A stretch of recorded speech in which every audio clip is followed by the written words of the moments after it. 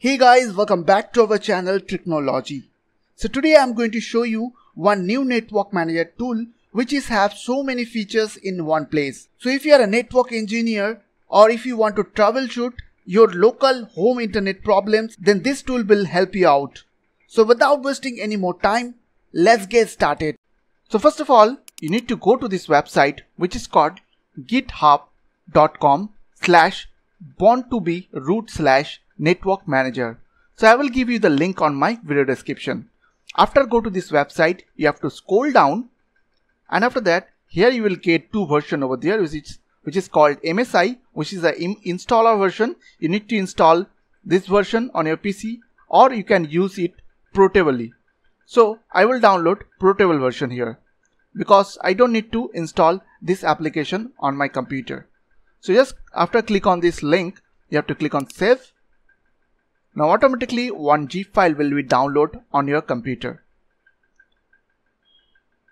So after that, you have to click on open that zip file and you will get a folder like network manager. So drag drop that folder on your desktop.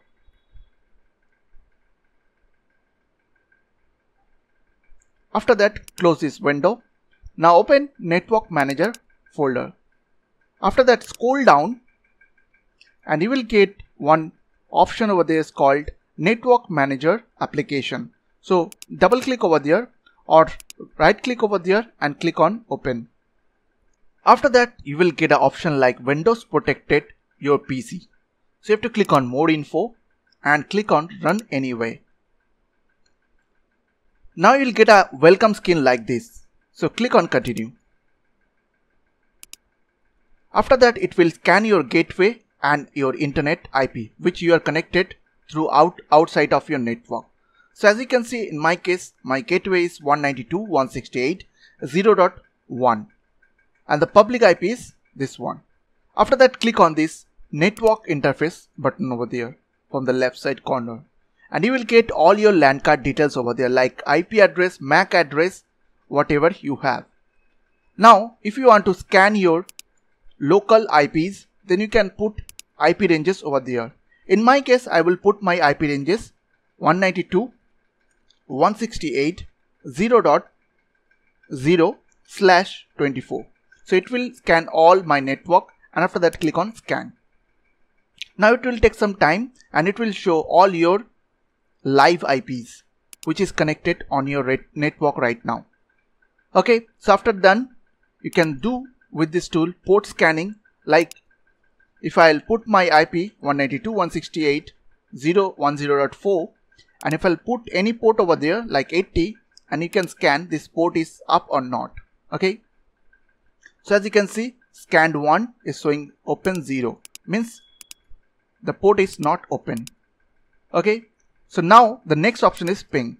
So through this tool you can ping any IPs through this option. Okay. So like I will ping here google.com and click on this ping button. So now as you can see all the information is showing over there the IP address, the host name google.com and the time and the bytes over there. So now I'm going to go to the next option which is trace route. So you can put any domain name over there and you can click on trace and you can see all the paths and IP address and host over there. So through this way you can check all the hops and count over there. So the next option is DNS lookup. Suppose if you have a domain like google.com example like google.com and if you want to check the google.com DNS server then you can put here the google com domain name and after that click on lookup tool. After click on lookup, it will show all the name server over there. As you can see Google using nameserver1.google.com, ns2.google.com and all are this name server showing over there. Now the next tool is remote desktop. So if you want to connect any remote machine, so you have to click on new connection. After that you have to put the IP address the machine which you want to connect and after that you have to click on this connect button okay the next option is PowerShell you can do through your PowerShell connect any network. And the next one is PuTTY if you have a PuTTY on your computer suppose you want to connect any terminal you can use this option. Okay? So after that TightVNC also same then using for remote desktop purpose. Now if you want to check http headers then you have to click over there and you have to put any domain name over there. Like in my case i'm putting here https google.com and if i'll click on check it will show me the headers as you can see so the next option is whois. That's mean you can check any domain name, all the details. Like if I'll put over there google.com, if I'll click on query, it will show all the details, the domain name, server and register date, all those, all those details showing over there as you can see. Okay. So the next one is subnet calculator. So if you want to calculate the subnet masks, then you can use this option. Okay. So the next one is lookup. So this option will help you to find the MAC address details.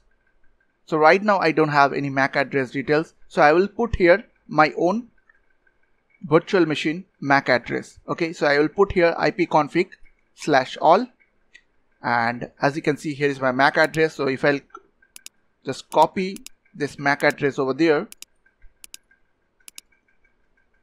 and click on lookup. As you can so see, it's showing the vendor. The next option is connection. That means your PC connected with which IP it will showing over there. And it will it will also show the status okay? As you can see showing state established time wait all the details. The next option is listener. That means it will show all the TCP and UDP details uh, which is connected right now on your computer.